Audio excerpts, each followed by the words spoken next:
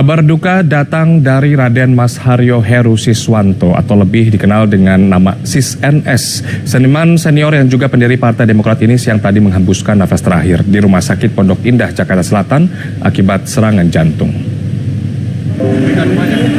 Kerabat dan rekan almarhum mendatangi rumah duka di kawasan Kemang Timur, Jakarta Selatan untuk menyampaikan rasa bela sungkawa. Eko Budi melaporkan pria kelahiran Semarang 62 tahun silam ini meninggal dunia pada pukul 1 siang tadi akibat serangan jantung.